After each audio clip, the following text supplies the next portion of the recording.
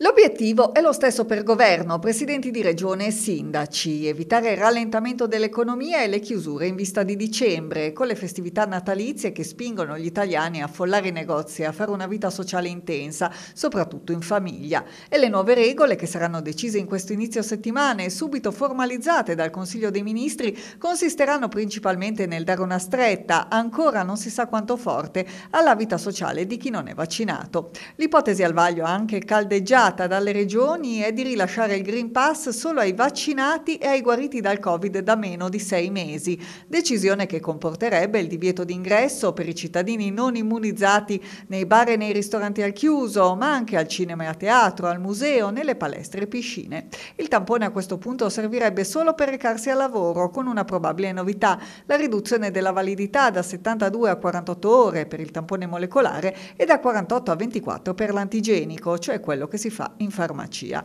Quasi certa la riduzione della validità del Green Pass da 12 a 9 mesi. Inoltre il governo sta cercando di ottenere l'autorizzazione dall'AIFA a ridurre da 6 a 5 mesi l'intervallo tra la seconda e la terza dose. Alla scadenza del periodo stabilito, se non si effettua la terza dose, il Green Pass decadrà.